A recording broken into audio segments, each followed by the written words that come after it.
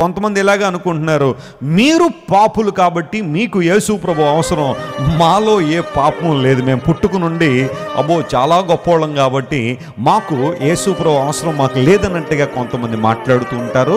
అలాంటి వారే ప్రతి ఉదయాన్నే లే లేచిన తర్వాత లేదా ఏదైనా గుడి కనబడగానే కొన్ని శ్లోకాలు పాడుతూ ప్రదక్షిణలు చేస్తూ పాపోహం పాపకర్మ పాపాత్మ పాప సంభవ కృపయా దేవ శరణాగత వత్సల త్రాహిమాం యుగే యుగే అనిదా శరణ నాస్తి తోమేమ శరణ మమ అని ముక్కు మూసుకుని మూడు సార్లు మమ్మ మమ్మ మమ అంటాడు.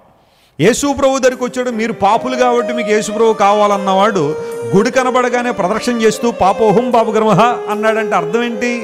అహం అంటే నేను అని అర్థం సంస్కృతంలో పాపోహం అంటే నేను పాపిని నా కర్మలన్నీ పాపమే. మరి పాపి కాదంటే నువ్వు? దేవుడు చెబుతున్నాడు దేవుని దృష్టిలో అందరూ పాపం చేశారని బైబిల్ సెలవిస్తూ ఉంటే నేను పాపిని కాదు అంటే అయితే ఆయన అబద్ధికుడు అవ్వాలి లేకపోతే నువ్వు అబద్ధికుడు అవ్వాలి.